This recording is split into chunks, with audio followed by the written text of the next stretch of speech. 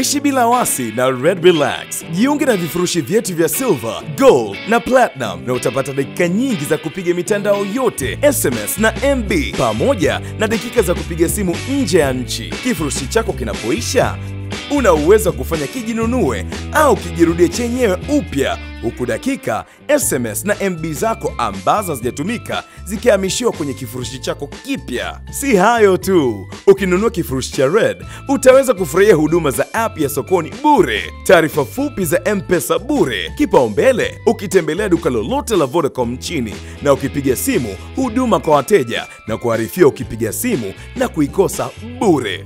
Piga nyuta 149 nyuta 01 alama ya reli Chagua Red sasa, uishi bila wasi.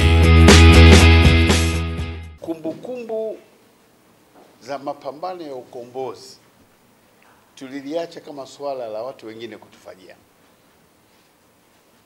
Kwa hiyo utakuta watu wanaongea tu kwamba tume tumeshiriki katika mapambano ya ukombozi, lakini ushahidi haupo. Baada ya miaka 20, 30, 50 ijayo kutakuwa hakuna ushahidi kabisa katika nchi yetu na nchi zingine kusini mwa Afrika ambazo zilipigana sana, zilichangia sana katika kulikomboa bara hili. Tulianza kuwa na wasiwasi hapa Tanzania miaka elfu mbili na mbili ndani ya serikali na ndani ya chama tawala kwamba tutafanyaje kuweka kumbukumbu ya ukombozi wa bara hili la Afrika. Baadaye juhudi zikafanyika kuweza kuwatafuta wenzetu kusini mwa Afrika, nao wakashtuka, wakasema kuna umuhimu sana tufanya hivyo. Ndani ya muda mfupi tunaweza tukakosa kabisa kumbukumbu kumbu hizo, na taifa lisilo na historia ni taifa ambalo hata inakoelekea eh, ni, ni vigumu kufanikiwa, maana hujui ulikotoka, utajuaje unakokwenda. Kwa hiyo mwaka elfu mbili na kumi na moja Tanzania kwa kushirikiana na wenzetu kusini mwa Afrika ikiwemo Afrika Kusini ikiwemo Zambia, Botswana na nchi zingine kusini mwa Afrika. Kwa kushirikiana na UNESCO tukaweza kufikisha suala letu mbele ya mkutano wa viongozi wa bara la Afrika AU na tukapata baraka kwamba tuanzishe mpango kamambe wa kumbukumbu kumbu ya ukombozi wa bara la Afrika na makao makuu yake yawe Tanzania. Kwa hiyo huo ndio, huo ndio msingi wa hiki ninachokisema kwamba hapa Tanzania ndio tuko makao makuu. Kutajengwa miundombinu kadhaa kwa ajili ya kuhifadhi kumbukumbu, kuhifadhi historia, lakini kila nchi vile vile itakuwa na mradi wake na mpango wake. Sasa midogo, na sisi wenyewe tutakuwa na mpango wetu hapa Dodoma, lakini makao makuu itakuwa Dar es Salaam, na nchi zote zimeanza kuunza kuunda hizo national chapters.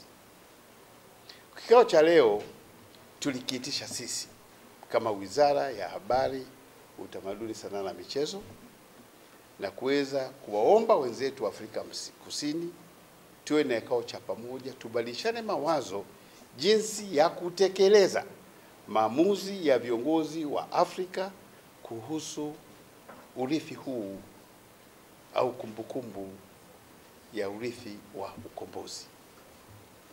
Na napenda kusema kwamba kwa kweli mkutano ulikuwa mzuri, umehudhuriwa na mwenzangu hapa, waziri wa wa, wa, wa sanaa na utamaduni kutoka uh, Jamhuri ya Afrika Kusini, Mheshimiwa Nati Mtetwa amekuja na ujumbe mzito kweli kweli hapa, ujumbe wa makatibu wakuu wa wizara mbalimbali. Walikuwa nakuja mawaziri wengine, lakini amekuja mwenyewe, ndio kiongozi wa msafara na wataalamu, ni kundi kubwa watu zaidi ya 15. Lakini na sisi upande wa Tanzania nafurahi kwamba tumeungwa mkono na Mheshimiwa Waziri mwenzangu Rashid Ali Juma, waziri wa habari, e, utalii um, utamaduni na michezo, serikali ya mapinduzi Zanzibar. Tumekuwa na naibu waziri wetu wa elimu injinia Yes, Manyanya.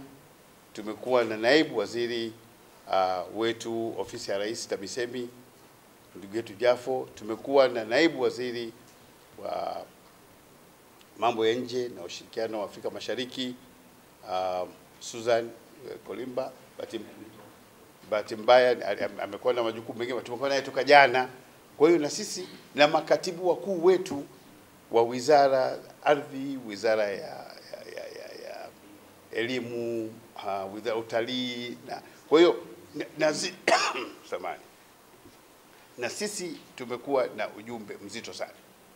Lengo letu kubwa kukaa hapa ni jinsi gani tunaweza tukatekeleza hayo maamuzi ya kutufanya sisi Tanzania ndo tuwe wenyeji wa mpango mkubwa wa bara la Afrika la urithi wa ukombozi. Tumefurahi kwamba wenzetu wa Afrika Kusini ambao wamekaa muda mrefu sana hapa nchini wakipigania haki kwao, wamekaa zaidi ya miaka 30 hapa na wamekuwa uhuru kwa miaka ishirini na tatu tu. Kwa hiyo bado wenzetu hata machungu ya nyuma wanayakumbuka. Ndio maana ilikuwa ni watu muhimu sana tukae nao hapa kuweza kutiana moyo namna ya kufanya, na nashukuru tumekuwa na mkutano mzuri, tumeweza kufikia maamuzi ya ushirikiano wa karibu sana kuweza kufanikisha hili swala, na huu mkutano ni mkutano wa mwanzo tu ambao unatufanya sasa tupate nguvu kuitisha mkutano wa nchi za SADC za kusini mwa Afrika kuhusu swala utekelezaji wa swala hili. Na tatizo lingine kubwa linalotupata sasa hivi ni kwamba kasi ya maendeleo ni kubwa mno katika nchi kiasi ambacho hata maeneo ya kumbukumbu yanaweza yakakumbwa yakaondoka kwa ajili ya maendeleo. Tunajenga standard gauge railway, tunajenga mabarabara ya kisasa, ma flyover. Sasa tusipokuwa uangalifu, tukakaa vizuri na kusema maeneo haya tuyahifadhi mapema sana, tutajikuta yanaondoka kwa ajili ya maendeleo ya haraka sana. Tumeongelea swala la kuweka elimu hii ya, ya, ya, ya urithi wa ukombozi katika hata mitaala ya shule. Ndio maana leo tumekuwa na naibu waziri wa elimu hapa.